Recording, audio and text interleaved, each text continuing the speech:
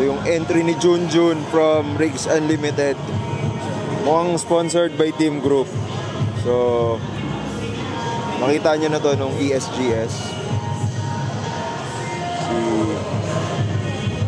Andun si Tito Mike. Kakamera.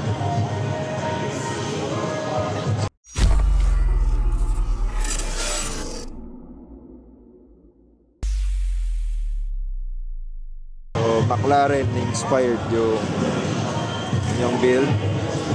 And specs.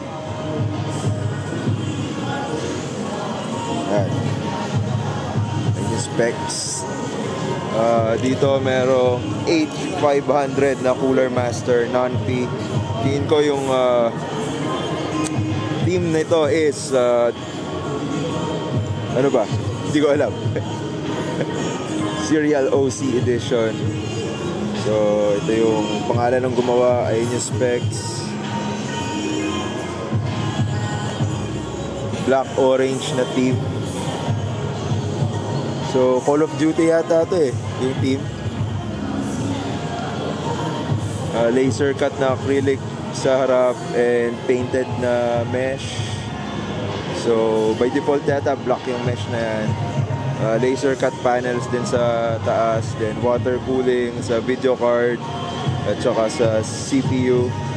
Uh, pati yung radiator niya is uh, painted uh, orange. Power supply cover, acrylic din. So, yan. Dito tayo, meron spaceship dito. Kaso lang, naka-off siya ngayon. Hindi ko alam paano i-on. May remote yata siya kasi walang power button anywhere. So, yun siya. Scratch build. This is from yan, John Patrick C. Wong. Doon din yung specs. Gusto nyo balikan. So, yan. Made out of acrylic siya. Tsaka metal.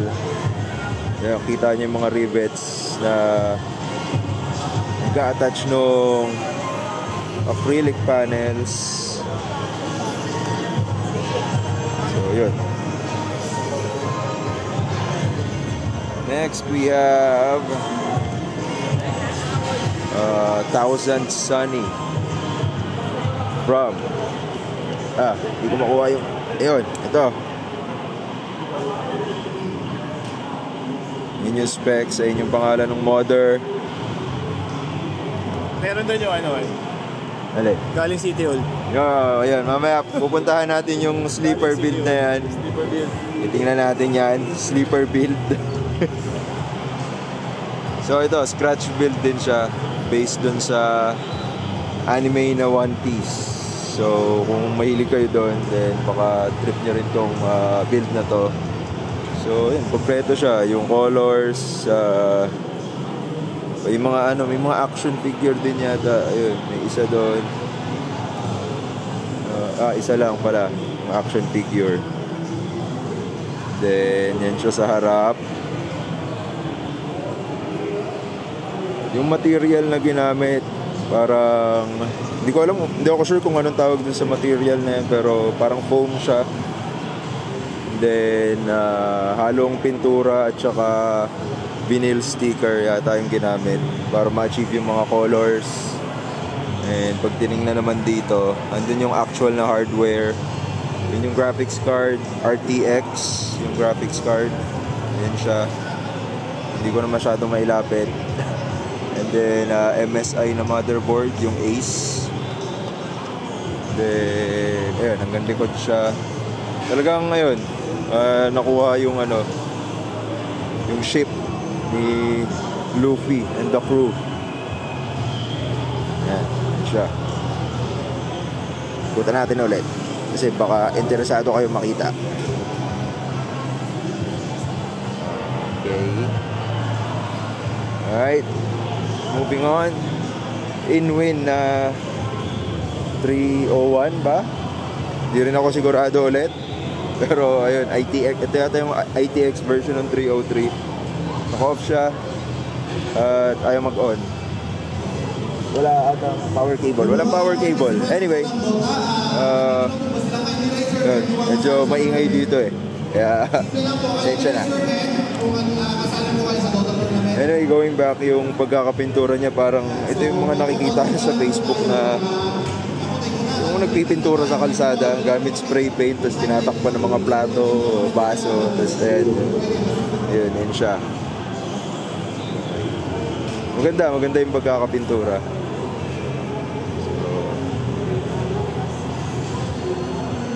Then dito naman merong Batman yata na build kasi nakikita ko yung ano eh. Nakita ko yung logo. Ah, bale, Omega Dark Knight pala siya. Ayun yung pangalan. Omega Dark Knight. Okay. So, specs niya nandito. Yun. So, weathered siya na team.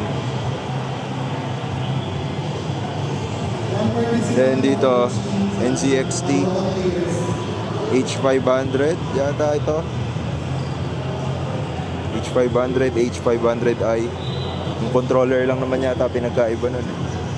Anyway, yun. ah, painted yung case, pati yung loob niya naging puti. Kasi by default, itim yung loob ng H500. Ah, specs, ito.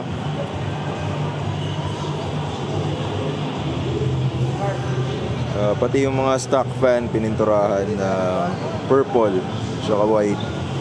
Ah, custom sleeve extensions na purple and white din. So, yun, mukhang malinis. Decent. Ayun yung sinasabi ko. May video ako na tungkol dyan sa yun, yung mga RGB cable na yan. Kasi oh, kung titingnan nyo, ang ganda-ganda niya. Malinis. For everyday use. Ang ganda niya tingnan. Kaso lang yun, oh. Medyo panira. Picture pala tayo mamaya. Picture, sir. Tayo sa akin dito. Para Sige. intro ko ng day 2. Sige, sige. So, isa ulit in-win na build. So, yung mga builds dito, halo, hindi lang parang, hindi lang sila puro mga modified scratch builds, tsaka case mods. Meron ding mga, parang mga stock builds. And, uh, yun nga, uh, inaayos na lang nila yung parang color coordination. Tsaka, sleeving. Kasi, makikita nyo, maganda rin yung pagkaka-cable manage nitong build na to. Kaya, iwanagan natin. Yan. Diba? Sa ito. May Hall of Fame na puti. Overexposed. Uh, Gamer Storm na case. Ayun yung uh, helix na rest sa harap. Ganda. Ganda ng puti sa... Eh, I mean, ang ganda ng Hall of Fame na graphics card para sa white team build. Tapos yung gigabyte na motherboard. Ayan. Uh, black and white sleeve extensions. Oy! Avexi Raiden. Ha? Tagal ko na hindi nakikita. Teka lang. Masyado maliwanag. Lapitan natin. Oh. Avexi Raiden. Where have you been? Plasma LED.